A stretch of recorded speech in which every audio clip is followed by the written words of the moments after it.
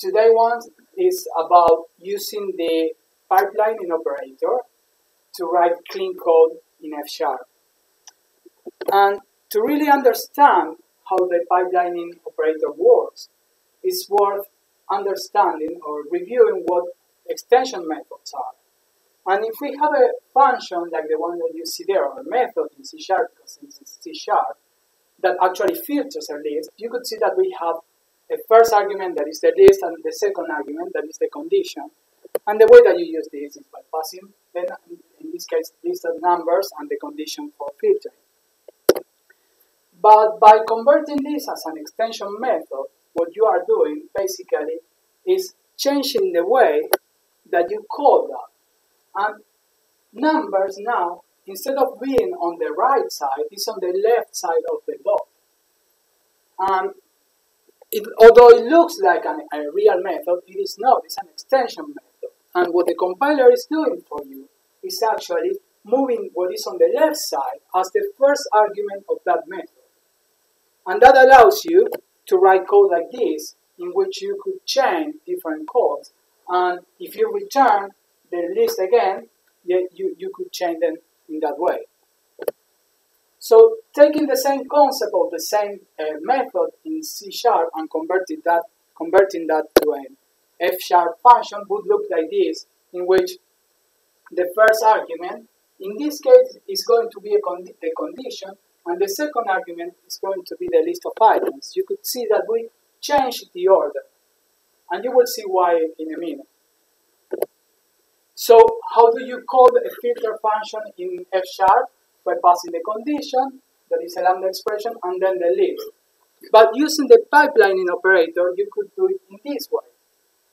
And what, what you are doing here is to take in the argument and put it on the left side of the pipelining operator, that is this guy here. And what the compiler is doing in this case is putting that at the end of the code. So it's passing what is on the left side of the pipelining operator as the last argument of the function invocation. So it's similar to the extension method, but the extension method will do it, will put that argument at the beginning, the pipeline operator will put it at the end, and that's why you need to swap the order, and you could write code like this, in which you could chain different functions.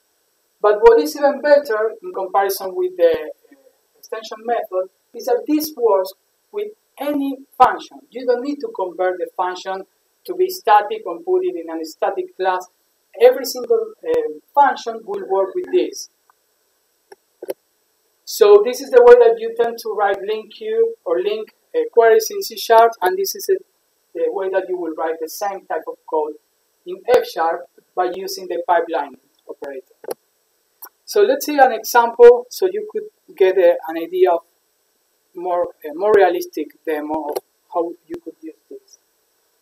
Let's say you have a customer, and the customer could be either VIP or not VIP, and we have a function here that is increase limit. For the ones that this is the first time you see F sharp code, basically what is the first thing here is the name of the function, and what comes after is the argument or arguments that we have and then we have the definition of the function. And this guy is asking if the customer is a VIP, we will increase the limit, the spending limit of the customer by a thousand. That's why we return a new customer whose limit is incremented by a thousand. If the customer is not a VIP, we will increase it by 300. So now, let's say that we want to give the customer the opportunity to be promoted as a VIP depending the spendings of the, let's say, last month. So this second function receives a tuple with the customer and uh, his or her spendings, and we ask if the spendings were more than a thousand, then we will, we will promote the customer to be to be VIP. Otherwise, we won't. And the third and last function that I need for this exercise is a function that will actually calculate the spendings and will return, we don't care how we do it, but will return, and this is what we return always is the last line, a tuple with the customer and its spendings. So now that we have how to, how much the customer has spent, the, the possibility of promoting the, the customer to be VIP, uh, and to increase the limit, we could call these three functions in this way. And this is the way that you would do it in C Sharp. Yes? You call calculate the spendings with the customer, you get the tuple with the customer and its spendings. Then you call try to promote to VIP with that tuple that we get from there, and then we get a potentially promoted customer. And the last thing that we do here is to increase the customer of this potentially promoted customer, and we will get a customer that now has the limit increased.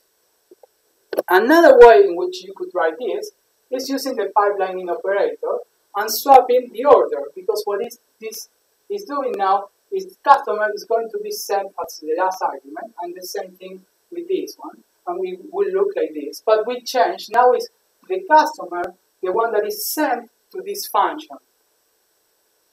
And if you pay attention to this, this specific argument is actually what we need as an input for this function. And what we return from this function is actually what we need as an input for this other function. So a better way to write the same code would be like this, in which the customer goes through all these things and different outputs are going to be the input of the next function. And you could see that in this way it's much cleaner and it's easier to understand and easier to, to read. So that's basically the tip for this month is using pipeline operators to be able to be more declarative and write cleaner code in F Sharp.